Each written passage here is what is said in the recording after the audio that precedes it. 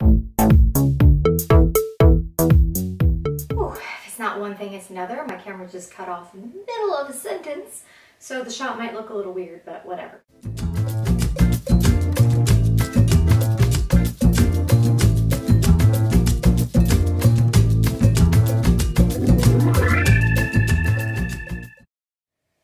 Where was I? I think we were talking about one of the reasons that you would want to do back to school STEM challenges at the beginning of your school year.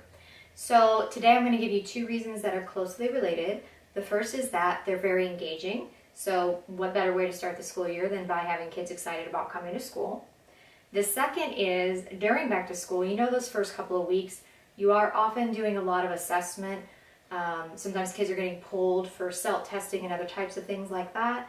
So rather than do a formal second iteration of some of these challenges, what you can do is during that time where small groups are getting pulled out or you're working with students one-on-one, -on -one, students can be sort of tinkering and modifying their designs once they've already been through the first iteration. So this is a great activity because they're going to be naturally engaged in it and they hopefully will not be coming over and interrupting the formal assessments that you're taking of the other students.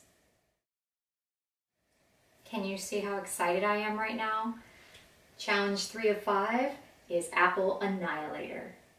The basic premise of this one is the students are going to be building a wrecking ball using an apple and school supplies. Let's take a closer look at the materials. I discussed the details of the STEM Challenge cycle in the Apples Aloft video. You can click on the STEM Challenge cycle title above now and it will take you to that section of Apples Aloft. So this challenge is going to take about 90 minutes again, and you can break that up over a couple of days if you like. And one of the things you want to think about ahead of time is where you're going to have the students build. Will you have them build their wrecking ball directly onto their desk or table? Will you have them connected to the floor? Or what I like to do is um, if you have cardboard scraps or boxes just lying around, I prefer to use that as a base just because then it's portable, uh, which makes things a lot easier. So uh, one other thing you need to think about is whether or not you want to be testing for total annihilation, meaning mark, knocking down as many markers as you can, or if you're going to be going for accuracy. So let's do a first test going for annihilation, and we'll see how this design does. Uh, when you are having the students do this, you want to make sure that you tell them that they can choose the angle that they let go of the apple, as long as it's level with the tallest point of their design or lower. It can't be up above. So, and another thing is you want to measure from when the apple is hanging just loose, from the apple to the first marker needs to be at least two inches. So let's give it a little test. Okay, so for the accuracy test, you want to see if you can hit just one of the markers and none of the others. So if you have um, younger students, you might want to uh, just choose one, uh, but they have to tell you which one that they want to hit before they go.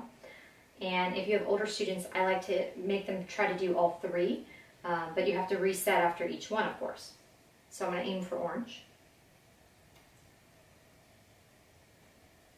Nice. So I'll reset. This time I'm going to aim for yellow.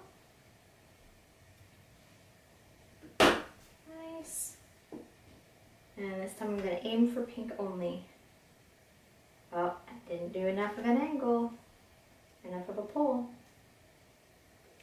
Uh, that's a fail on that one because I got the pink, but I also got one I did not intend. So you might recall that in the Apples Aloft challenge, I said you might want to pair uh, Apple Annihilator and Apples Aloft because you've got a tower and you've got a wrecking ball and those things go together really well. So this is an opportunity for students to try to knock down their towers using their wrecking balls. So whichever one you do first, you either need to store it and wait for the other challenge or you want to do these challenges back to back. Okay, so as far as other standards you can incorporate other than the engineering standards for Next Gen Science standards, it's a lot of standards all at once. Um, Newton's laws of motion factor into this beautifully again. So if you have third grade, fifth grade, or middle school, you want to check out your uh, physical science standards. And if you are a single subject teacher, check out whatever standards you can that might go along with this challenge. If you are a self-contained teacher, you need to look for your cross-curricular connections. The more you can get out of a challenge, the better. So there you have it. You have all the basics you need in order to conduct this challenge in your classroom. And if you would like to know more or you want to save yourself time and energy and hassle of planning and prep, check out the resource. This resource is a great deal. It's going to save you a bunch of time and ensure you get the most out of implementing this challenge. Just a reminder the grade levels are set for 2nd through 8th because this resource contains modifications for grades 2 through 8. You'll get aligned next gen science standards for engineering and physical science. In teacher tips, you'll find premise and setup, how to increase or decrease difficulty through the criteria and constraints list, measuring results, and cross curricular extension suggestions. You'll find a materials list as well as criteria and constraints list, which is editable so you can tailor the challenge to your students.